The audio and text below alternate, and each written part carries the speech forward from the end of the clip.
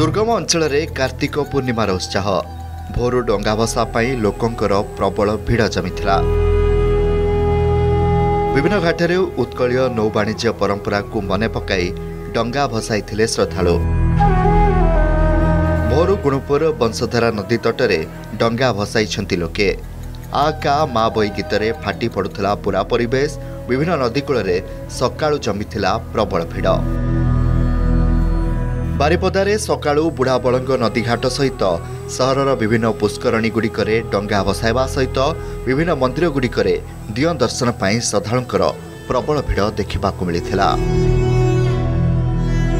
ବଡ଼ବିଲରେ ଆନନ୍ଦ ଏବଂ ଉଦ୍ଦୀପନାର ସହିତ ପାରମ୍ପରିକ ବୋଇତ ବନ୍ଦାଣ ଉତ୍ସବ ଅନୁଷ୍ଠିତ ହୋଇଯାଇଛି। ଆଜି ଭୋର ଚାରିଟାରୁ ସହର ଉପକଣ୍ଠ କାରୋ ନଦୀର କାରୁବାକି ଘାଟରେ ଶ୍ରଦ୍ଧାଳୁମାନେ ଏକତ୍ରିତ ହୋଇ ଡଙ୍ଗା ଭସାଇବା ସହିତ ଓଡ଼ିଶାର ଗୌରବମୟ ନୌବାଣିଜ୍ୟ ଇତିହାସକୁ ମନେ ପକାଇଛନ୍ତି। ପ୍ରତିବର୍ଷ ଭଳି ଏବର୍ଷ ମଧ୍ୟ ସାଂସ୍କୃତିକ ଅନୁଷ୍ଠାନ କଳା କଳ୍ପନା ପକ୍ଷରୁ ପାରମ୍ପରିକ ବୋଇତ ନିର୍ମାଣ କଳା ପ୍ରତିଯୋଗିତାର ଆୟୋଜନ କରାଯାଇଥିଲା। ସାବର ଶ୍ରୀକ୍ଷେତ୍ର କୋରାପୁଟରେ ପରମ୍ପରା ଅନୁସାରେ ପବିତ୍ର କାର୍ତ୍ତିକ ପୂର୍ଣ୍ଣିମା ଅବସରରେ ଭୋରୁ ଚଳଚଞ୍ଚଳ ହୋଇଉଠିଥିଲା ନରେନ୍ଦ୍ର ସରୋବର।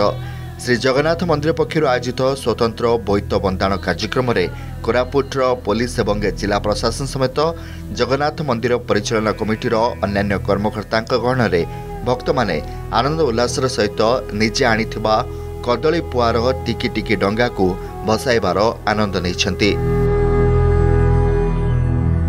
ବୌଦ୍ଧ ଜିଲ୍ଲାର ବିଭିନ୍ନ ପୁରପଲ୍ଲୀରେ କାର୍ତ୍ତିକ ପୂର୍ଣ୍ଣିମା ପାଳନ କରାଯାଇଛି ଏଥିପାଇଁ ବିଭିନ୍ନ ଶିବାଳୟମାନଙ୍କରେ ଶ୍ରଦ୍ଧାଳୁଙ୍କ ଗହଳି ଦେଖିବାକୁ ମିଳିଥିଲା।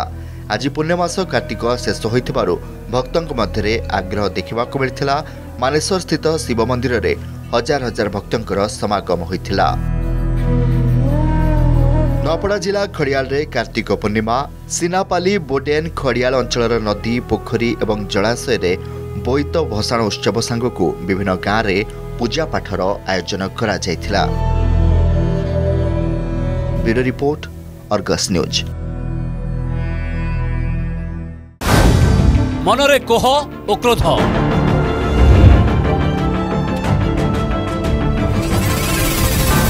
କାହାକୁ ପଚାରିବେ ପ୍ରଶ୍ନ। କିଏ ଦେବ ଉତ୍ତର? ଆପଣଙ୍କ ପ୍ରଶ୍ନର বেসালিস মঞ্চ প্রশ্নকাল সোমবার শুক্রবার রাতে আটটা তিরিশ যদি আপনার আম ভিডিওটি ভাল লাগিলা তেবে আম চ্যানেল কু লাইক শেয়ার ও সবসক্রাইব করা জমা বি ভুলতু না